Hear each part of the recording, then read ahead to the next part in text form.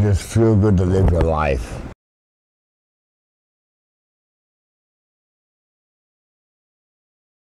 I'm very big on people who came before me, um, giving them that respect. One of the things that scared the hell out of me once I found out that this character was based on a real living person, Right. and she is really coming to this play to see it. Yes. Um, I, pardon my French, uh-huh. was like shitting my pants. Yeah. I was like, you know, did I, did they pick the right girl? Do you feel like they, you know, mm-hmm. did you feel like I portrayed you or her well? And, mm-hmm. you know, I was, I feel like I was like a, a, a, puppy, like jumping up in her mm. lap, peeing on her. Oh, wow. Um, I was like, did you like it? Did you like it? Did you love it? Did you love it? Did you love it? No, yes, no, maybe, so, no, Yeah. kind of. And she was like, you did well, baby. She was like, you did, baby, you, you did, you did, Right. you did well, baby. growing up. I was definitely with the with the you know the the smart kids geeks, you know, but I was a music geek from a pretty young age because my mom taught piano. So piano kind of became my life um, in junior high and high school. Mu- music and piano. I thought that was going to be my whole life. Wow. I really did. Yeah, yeah. And in some ways, it has. It's remained. I've taught um, piano all of my life, actually, part time. I have six piano students right now, and I hold little recitals for them twice a year. So I always make a point to play a piece at the end of my recitals for them.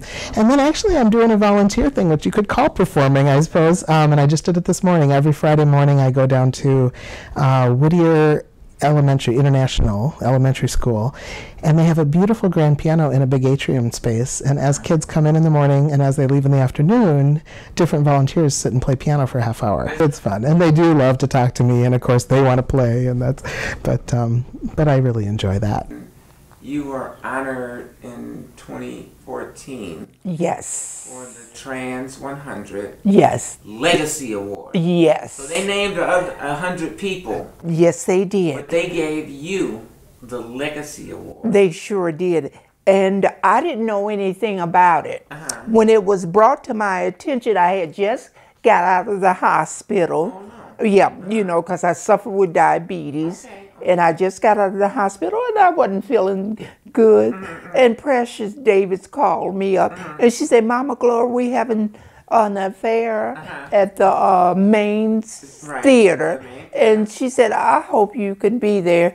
And by it being precious, I uh-huh. said, baby, I'll be there for you. Right. And um, I wasn't feeling all that great, and I uh-huh. got up. I got there, Right. and I couldn't. I'm looking at all these people and the place. The venue was beautiful, beautiful, yeah. and I'm looking all around, wondering what is going on here.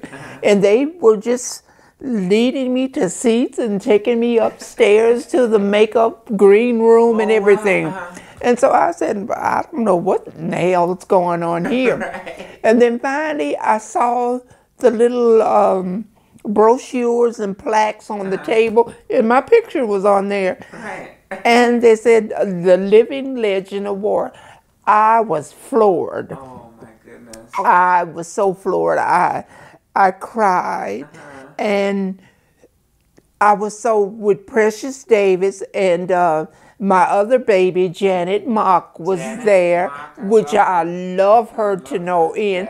And Laverne Cox was there. was there? Laverne was there, Oh, and Angelica Ross. So I was yeah. surrounded by all these beautiful flowers, Right. and I'm saying, "Oh my God, here I am with all my children." I feel like Phoebe Tyler. Right.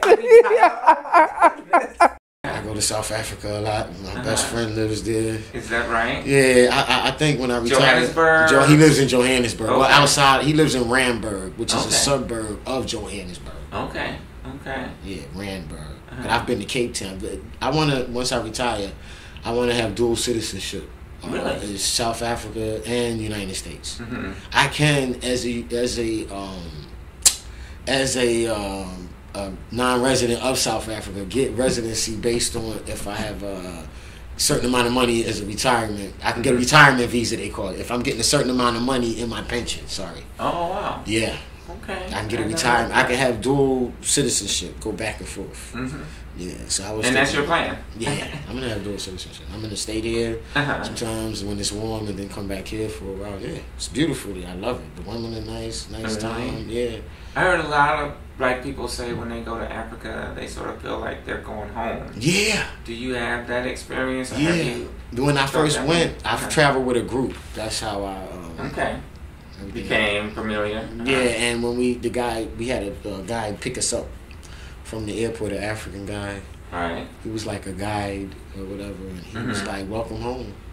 When Wow. we got off the plane, and you should and you should have seen when we came off the plane, the people who worked at the airport just stopped and looked, stopped what they was doing, Uh huh. and looked at us American black people Really? coming on. I guess because you know the way I dress or whatever. They probably was like, you know, like wow, like they just stopped what they were doing, and I was just like, we was just like looking at each other like, and it's Wow. like I could have cried. Like Really? it was like, soon after I came out, I kind of expressed interest in being able to take care of transgender patients in my own primary care clinic.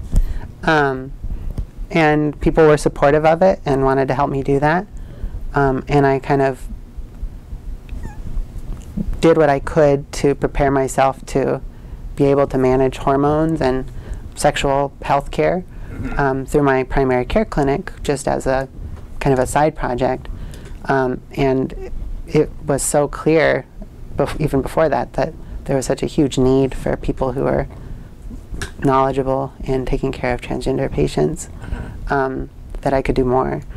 So uh, I started talking to people about what it would take to create a clinic, and um, the administration was very supportive.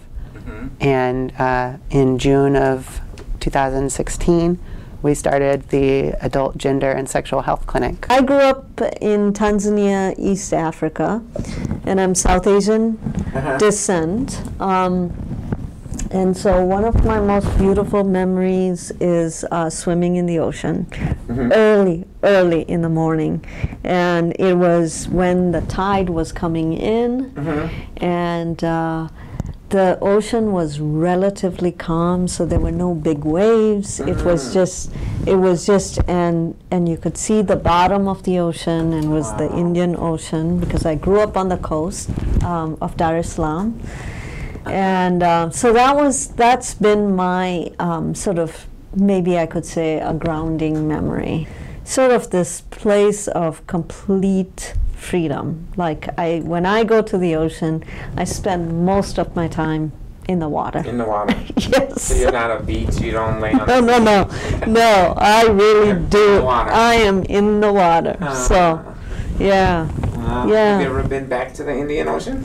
Yes, actually, three was it? Yeah, three about three years ago. Is that right? Yeah, Okay. yeah. So I came um, sort of after um, around 22 years of being in the U.S. Mm-hmm. I went back, and it was uh, both uh, a, a phenomenal trip in, in a lot of ways. Mm.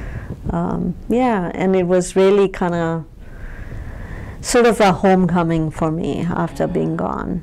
My debut singing for Barack Obama wasn't at the White House. Okay. It actually was at the Sheraton in New York City at a big um, LGBT fundraiser sort of um, event, but it wasn't at the White House. Wow. But I did sing at the Department of Veteran Affairs. Okay. So people, when they see all my pictures, they just put two and two together. They see the American flag, and they're like, "Oh, it must have been at the White House." You know. Well, I'm glad you cleared that up. Oh no, no, I always try to. I always try to keep it real, you Yeah. know, to the best of my ability. Did you meet Barack? Of course, yeah, yeah. Um, they give you time afterwards. and I have my photo with him, um, and they give you time to come and speak with him. And it was just another very emotional time to say, I'm living in my truth. And all of these people told me that I could not be successful living in my truth. Look at this, you know. Uh,